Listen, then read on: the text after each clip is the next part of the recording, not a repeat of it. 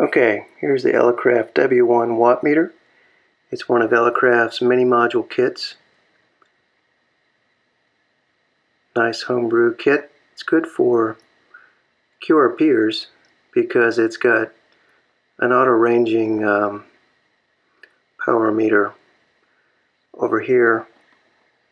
We can see that it's got a 1 point, the, the green light's lit on uh, the lowest range 0.1 watts to 1.4 watts. And after it goes above 1.4 watts it'll go up to 14 watt range and then it'll auto switch up to 140 watt range. So it'll work for a QRO rig as well. But it's uh, primarily intended for QRP I think. Um, alright a little demonstration here if I can get the camera to focus. So right now I've got the radio set to send uh, a little over a tenth of a watt. I can't get it much less than a tenth of a watt. It's going to trigger at the 2 watt range. You can see that it lights up the 2. That's 2 tenths of a watt. Um, and it holds on that peak. It's also displaying SWR, but the SWR is below 1.1 to 1. It's going into a dummy load. Dummy load's pretty good. Alright, turn the power up on the radio a bit go over a watt. So it's now gone up to 1.4 watts. It's still in its lowest range. I'm going to go over 1.4 watts. Say go up to 3 watts here.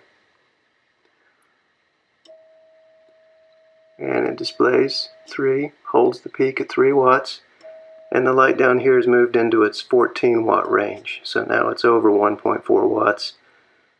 And it goes to the 14 watt range. That's how you know what is meant by this 3 up here. So in the 14 watt range it's displaying 3 watts. If I go up to 10 watts it's no longer QRP but it's for demonstration purposes. Then still in that middle range 14 it's displaying 10 watts and now my SWR has gone to 1.1.